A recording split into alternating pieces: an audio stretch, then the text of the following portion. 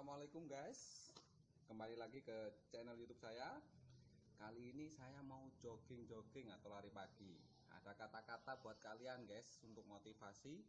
Lebih baik lari pagi Bikin badan bisa keringetan Daripada lari dari kenyataan Bikin pusing pikiran guys.